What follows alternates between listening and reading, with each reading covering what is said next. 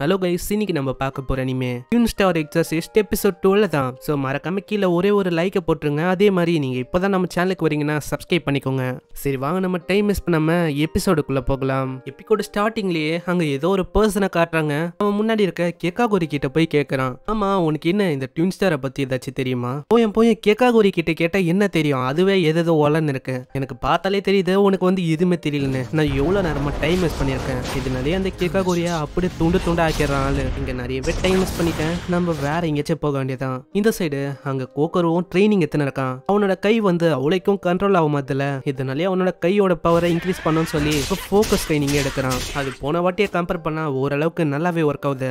போன வாட்டி அவனோட ஸ்பெல் இன்க்ரீஸ் ஆனனால நிறையவே ஃபோக்கஸ் அவனுக்கு தேவைப்பட்டிருக்கும். ஆனா அவனால அதை கண்ட்ரோல் பண்ண முடிஞ்சிருக்காது. ஆனா இப்போ ஓரளவு அவனால கண்ட்ரோல் பண்ண முடியுது. பரவாயில்ல இன்னைக்கு இது போதும். நம்ம நாளைக்கு இதெல்லாம் பார்த்துக்கலாம். மேலே போகும்போது அங்க சைடில் நிறையவே புகை மூட்டமா இருக்கு. எனக்கு தெரியும். அடியே இது வந்து உன்னோட வேலை தானே என்ன பண்ணின்னு இருக்க நீ? பார்த்தா தெரியல டின்னரை உருவாக்குறேன். அந்த டின்னரை பார்க்கறான் அந்த டின்னர் அவ்வளவு கேவலமா இருக்கு. இது வந்து என்னது? இதுதான் உங்க ஊர்ல டின்னரா பார்த்தா தெரியலையா? வெஜிடபிளும் சில பல ஹப்ஸை வச்சும் நான் ட்ரிங்க் உருவாக்கின்னு இருக்கேன். ஆமா இதெல்லாம் மனுஷனால சாப்பிட முடியுமா? குடிக்க முடியுமா? நீ என்ன இப்படி சொல்ற? இது வந்து எங்களோட ஃபேமிலி ஸ்பெஷலான ஒரு ட்ரிங்க்னே சொல்லலாம். உங்களோட ஃபேமிலியில நீங்க என்னதான் அப்படி சாப்பிடுவீங்க? எங்களோட ஃபேமிலியை பொறுத்த வரைக்கும் நாங்க ஹொகானியும் கறியும் சாப்பிடுவோம். என்னது? அதை தாண்டி உங்க ஃபேமிலிக்கு எதுவுமே தெரியாதா என்ன? அந்த டிஷ்லயும் அது ஒரு டிராப் மாதிரி ஊத்துறா. அது பார்த்தா அப்படியே ரெடி ஆயிடுது. இதுக்கு தான் அவ்வளோ சீனா நானும் ஏதோ ஆயிடுச்சு போல அப்படின்னு யோசிச்சேன். இல்லப்பா இது பர்ஃபெக்டா இருக்கு. இப்போ நம்மளால இதை குடிக்க முடியும். குடிக்கிறதுக்கு முன்னாடி உள்ள இருக்கிறது எல்லாத்தையும் நம்ம வடிகட்டணும். அதுக்கப்புறம் நம்ம குடிக்கணும். அப்பனா நீ இதை எனக்காகவும் உருவாக்குனியா என்ன? ஆமா ஆமா. எப்படியோ உருவாக்க போறேன். உனக்கும் தானே சேர்த்து உருவாக்குவேன். சரி ஏதோ ஒன்று அப்பனா குடிக்க வேண்டியதுதான். ஆனா இது குடிக்கிறதுல பிரச்சனை இல்லை. அதாவது இது வந்து பாக்குறதுக்கே ஒரு மாதிரி இருக்கு. உள்ள வந்து எப்படி இருக்க போதோ. ஆனா பின்னி அதெல்லாம் கண்டுக்கவே இல்லை. அப்படியே அவ குடிச்சிடறா. என்ன இவளே குடிச்சுக்கா? நான் ஒரு பையனாந்துன்னு இதை கூட பண்ணலன்னா நாளா இன்னும் ஒரு பையன். அங்க ஆளும் குடிக்கிறான். ஆனா அப்புறம் தான் தெரியுது அது அவ்வளவு கேவலமா இருக்குன்னு. அது காரமாவும் ரொம்ப கேவலமா இருக்கு. இது எப்படி நீ குடிச்ச? ரொம்ப மோசமா கேவலமா இருக்கு. இதெல்லாம் எவன் தான் குடிப்பான்? நீ வந்து அப்படி சொல்லக்கூடாது. அது பர்ஃபெக்டா இருக்கு. என்னது பர்ஃபெக்டா இருக்கா? உன் நல்லா சமைக்க கூட முடியல. உன்னை மாதிரி ஒரு பொண்ணு கூட நான் வாழணுமா? வாய்ப்பே இல்ல. உனக்கு சமைக்கவும் தெரியல. சமைக்க தெரிஞ்சாலும் அது மனுஷங்க சாப்பிடுற மாதிரியும் இல்ல. இந்த மாதிரி இருந்தா மனுஷன் எப்படி வாழுவான் அவன் கூட? ஓ அப்படியா? அப்பனா உன்னால தோண்டி அப்படியே சமைக்க முடியும் பாரு. அப்போ உன்னால சமைக்க முடியும்னா நீயே சமைக்கலாம்ல?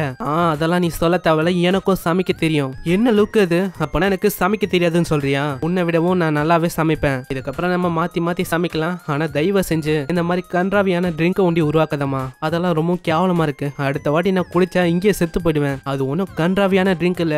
அதுதான் பெனியோ ஸ்பெஷல் ட்ரிங்க் அது ஏதோ ஒன்று அந்த கன்றாவிக்கு ஒரு பேர் வேற குறைச்சலா இருக்கு. சரி ஏதோ ஒன்று நீ வந்து சாப்பாடு உருவாக்குற வழியை பாரு. நான் ஜாகிங்க்கு போறேன்ப்பா அப்படி போயிட்டு வந்தா வந்து நல்லா இருக்கான்னு பார்க்கலாம். இந்த சைடு டோல் கார்டியனோட மீட்டிங்கை காட்டுறாங்க. அங்க அரிமாவும் வரான். நான் வந்துட்டேன். எல்லாமே எப்படி போகுது? எங்களோட ரிப்போர்ட் படி பார்த்தா வெளியில எல்லாமே ரொம்ப மோசமா இருக்கு. கேக்காகோரிஸோட ஆதிக்கம் இன்னமும் அதிகமாகுது. சரி அது இருக்கட்டும். டியூன் எக்ஸசிஸ்ட் அவங்க வந்து என்ன பண்ணிருக்காங்க? அவங்கள பத்தின ரிப்போர்ட்டை துபாரா சொல்லு. அவங்களா? நான் கொடுத்த ட்ரைனிங்கை வச்சு பார்த்தா கூடிய சீக்கிரத்துல அவங்களுக்குள்ள இன்ட்ரெஸ்டிங்கான விஷயம்லாம் நடக்க போகுதுன்னு நினைக்கிறேன். ஸோ கண்டிப்பா நீங்க நினைக்கிறதும் நடக்கும். ஓ அப்படியா? என்னோட காதுல ஒரு நல்ல செய்தியை நீ சொல்லியிருக்க இதுக்கப்புறம் கோக்குருவை காட்டுறாங்க. கோக்குருவும் அங்க சமைச்சுக்கினே யோசிக்கிறான். நான் வந்து சமைக்கிற சமையல் வந்து கண்டிப்பா அவளுக்கு பிடிக்கும். இதுக்கப்புறம் அவ சொல்லுவா இந்த டிஷ் வந்து ரொம்ப நல்லா இருந்தது. அப்புறம் நான் பாத்துக்கிறேன். ஆனா இருங்க அவ சின்ன வயசுல வந்து எந்த மாதிரி டிஷ் எல்லாம் சாப்பிட்டு வாழ்ந்துருப்பா? ஆனா இப்படி யோசிக்கும் போதே அது வந்து கருக ஆரம்பிச்சதா? இதனால ஆளு கத்துறான்.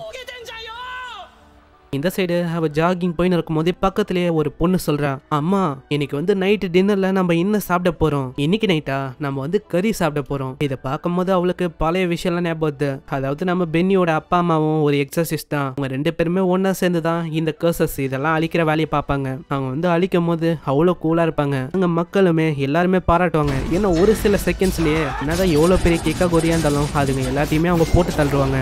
அங்க பென்னியும் இதை பார்த்து சந்தோஷப்படுறா. அம்மா அப்பா நீங்க வேற லெவலு ஏ பெனி நான் பண்ணதை நீ பார்த்தல? நான் அற்புதமா பண்ணல. ஆமாமா நீங்க உண்மையிலேயே அற்புதமா பண்ணீங்க. வளர்ந்தக்கு அப்புறம் கண்டிப்பா நானும் உங்களை மாதிரியே மாறுவேன். அதுக்கப்புறம் உங்க ரெண்டு பேருக்கும் நான் வந்து ஹெல்ப் பண்ணுவேன். ஆனா திடீர்னுட்டு அப்படியே கேட்க ஆனா திடீர்னுட்டு அவளுக்கு வேற ஒரு விஷயம் ஞாபகம் இங்க இருக்க இந்த கேக்கா கோழி தான் அவங்க அம்மா அப்பாவை கொண்டு இருக்கும். அதுவும் ஒரு பத்து வரைக்கும் என்ன இருக்கும். அவங்க வந்து பதிலே சொல்லாதனால அப்படியே கொண்டு போட்டிருக்கோம். இந்த சைடு கோக்கரும் எப்படியே கஷ்டப்பட்டு அங்க டின்னரை உருவாக்கிடுறான். என்ன எவ்வளவு நேரம் ஆயிடுச்சு? இன்னுமா அவளை காணும். அவ எங்க தான் போனா? இந்த இந்த சைடு அவ ஓடின இருக்க? அங்க சொல்லுது. இங்கே வந்து வீட்டுக்கு போகணும். இப்போதைக்கு அவன் சமைச்சிருப்பான். ஆனா எனக்கு டவுட்டா தான் இருக்கு. இந்த மாதிரி அவனோட சமையல் அது வந்து நல்லா இருக்குமா நல்லா இல்லையான்னு. ஆனா அதுக்குள்ள அந்த ஃபெமிலியர் அப்படியே கத்த ஆரம்பிக்குது. எங்கேயோ ஒரு மிகப்பெரிய கேக்காகுரி வந்திருக்கான். சோ அப்பனா நம்மளுக்கு வேற வழியில நம்ம அங்க போய் அதை பியூரிஃபை பண்ணணும். இதுக்கப்புறம் அவங்க மகனும் கேட் வழியா அதுக்குள்ளேயும் போறாங்க. இந்த சைடு அங்க கோக்கருவும் தேடி வரான். இந்த பொண்ணு எங்க தான் போனா? இதுக்கப்புறம் மகனும் கேட்டுக்குள்ள காட்டுறாங்க.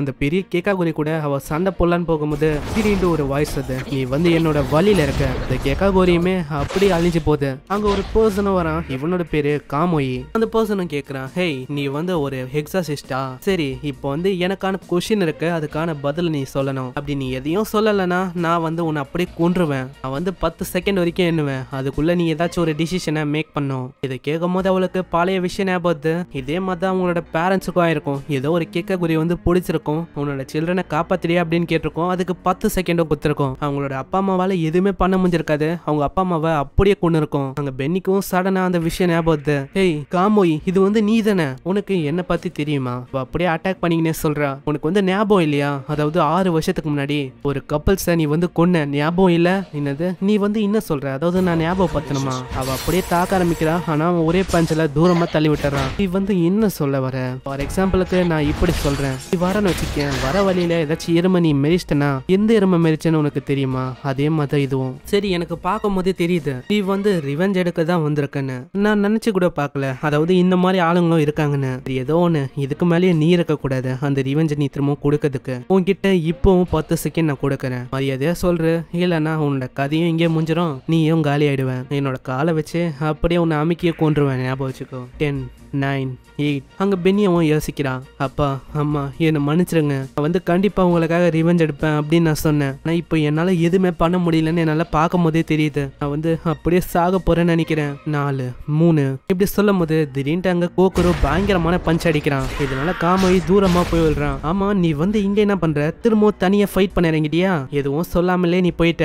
உனக்காக எவ்வளோ நேரமாக வெயிட் பண்ண தெரியுமா? நான் டின்னரை உருவாக்குனேன். ஆனால் நீ இப்போ வரைக்கும் அங்கே வரல. இது கோல்டாக மாறிச்சுன்னா நல்லா இருக்காது. நம்ம ஒன்னா சாப்பிடலாம் அப்படின்னு நம்ம சொன்னோம். ஆனா நீ இன்னமும் ஆளை காணும். நீ அதுக்காக தான் நீ இங்க வந்தியா? இல்ல அப்படின்னு இல்ல நம்ம ப்ராமிஸ் பண்ணோம்ல. நம்ம ரெண்டு பேருமே வீட்டுக்கு போனதுக்கு அப்புறம் இதை ஒன்னா சாப்பிடணும்னு. அதுதான். சரி இந்தா இதை பொடி. இதுக்கு மேல நான் எல்லாத்தையுமே பாத்துக்கிறேன் அவ ஓகேன்னு சொல்றா. திடீர்னு அங்க ஏதோ ஒரு நகர சவுண்ட் கேக்குது. அட இது என்ன ஒரு கேட்க கோரியா இது? ஆனா நான் அடிச்ச பவர் வந்து ரொம்ப பவரா தானே இருந்தது. அதுல வந்து இது பியூரிஃபை ஆயிருக்கணும். எந்த வகையான கேட்க கோரின்னு தெரியலையே. அந்த காமையும் சொல்றான். நான் வந்து யோசிச்சு கூட பாக்கலப்பா அதாவது ஒரு ஹியூமன் கிட்ட நான் அடி வாங்குவேன்னு. இந்த விஷயம் விஷயம் வந்து மற்றவங்களுக்கு தெரிய ஆரம்பிச்சா அவ்வளோதான் என்னை பார்த்து எல்லாருமே அப்படி சிரிப்பாங்க. ஆனால் ரொம்ப நாளுக்கு அப்புறம் இப்போதான் நான் வலி அதை வந்து உணர்றேன். ஆமாம் இவன் யாரு தான் இவன் இப்படி சொல்கிறதோட இங்கேயே இந்த எபிசோட முடியுது. மறக்காம கீழே ஒரே ஒரு லைக்கை போட்டுருங்க. அதே மாதிரி சப்ஸ்கிரைப் பண்ணலன்னா சப்ஸ்கிரைப் பண்ணிக்கோங்க. ஏன்னா அப்பதான் இதுக்கத்த வர எபிசோட்ஸும் மற்ற எபிசோட்ஸும் நோட்டிஃபிகேஷனாக வரும். நான் உங்களை நெக்ஸ்ட் எபிசோடில் சந்திக்கிறேன். தேங்க்யூ ஃபார் வாட்சிங் சைனரா